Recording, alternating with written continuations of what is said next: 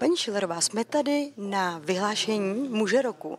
Co by podle vás takový vítěz muže roku měl vlastně splňovat? Tak eh, jsme ženy, takže určitě první dojem na nás udělá, jak vypadá, takže měl by to být aspoň trošku krásný chlap.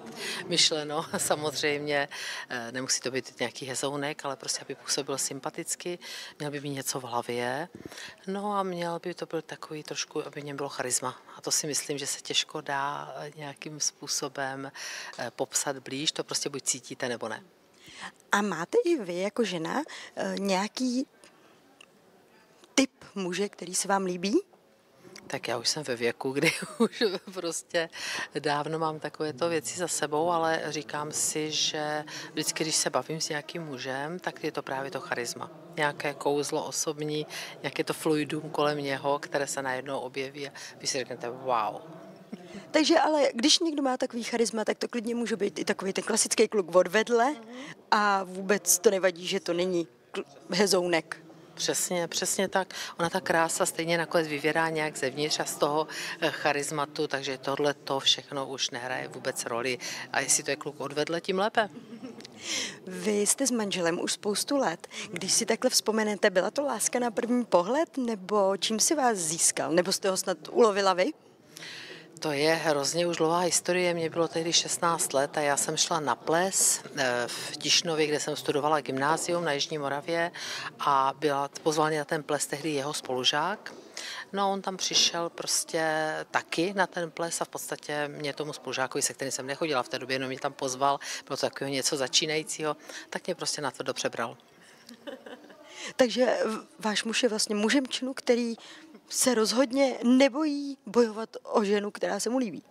Ano, určitě ne, určitě můžeme činu a nebojí se, a, ale myslím si, že teď už, jako, už je toho až moc, že si říká, že, že toho zájmu je až moc. On nemá rád, když o něm moc mluvím, protože chce mít svůj klid a on si ten život můj nevybral, který mám ten, v tom veřejném prostoru, takže já se snažím o něm mluvit minimálně. Každopádně, kdybyste takhle třeba aspoň mohla říct, co na svém muži nejvíce obdivujete, co, pro co ho milujete? Spolehlivost. Spolehlivost, velkorysost, je to skvělý otec, skvělý dědeček, my už máme tři vnoučata, takže určitě toto byly takové ty vlastnosti, které nejvíc jsem vždycky celý život oceňovala. Jak vlastně se cítíte v té babičkovské roli? Jaký to eh, pro vás je? Trávíte třeba s vnou... protože přece jenom určitě jste časově velmi vytížená. Máte čas trávit s vnoučaty volno?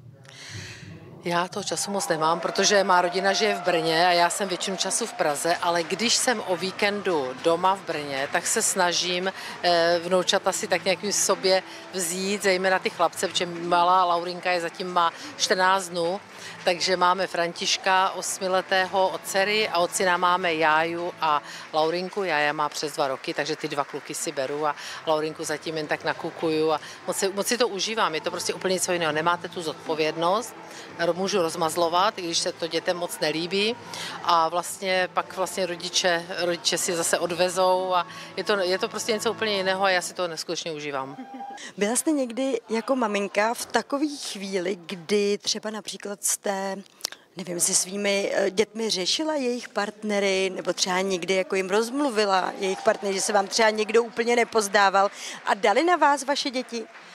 Tak eh, je pravda, že se stalo někdy, že jsem někdy utrousila nějakou poznámku, ale eh, považovala jsem to pak zpětně za chybu, protože si myslím, že by neměl člověk zasahovat dětem do jejich partnerského vztahu. Můj syn ten to udělal jednoduše, ten měl kdysi eh, ještě jako velmi mladý, měl vztah, který nevydržel a pak nám řekl, mami, přivedu vám až tu, kterou si budu chtít vzít a tak to přesně udělal a přivedl nám až Silvinku, naši snachu milovanou, takže tam to bylo jednoduché jednoduché. U dcery samozřejmě, protože ona je o několik let starší, tak jsem občas něco utrousila, ale eh, myslím si, že to je špatně, že by rodiče neměli dneska s odstupem let a zralostí svých, svého věku si myslím, že by se neměl nikdo nikomu plést do jeho partnerských vztahů. A jaký je váš recept na to, jak si udržet vlastně takhle dlouhodobý vztah nebo dlouhodobé manželství, protože v dnešní době to nebývá úplně už tak časté? Tak eh, já, třeba to manžel se mnou nevydrží, co já vím, ale eh, je to určitá míra tolerance, prostě nic, že nemůžete toho člověka nějakým způsobem přivázat k noze a zvláště já, která jsem vlastně pořád pryč, je to určitě nějaká velkorysost a tolerance, bez toho se to nedá zvládnout. I když musím říct, že pro ty partnery, kteří s námi žijí, s námi lidmi, kteří jsou veřejně známi, to je neskutečně složité a, a mají všichni můj obdiv, protože oni si ten život na rozdíl od nás nevybrali.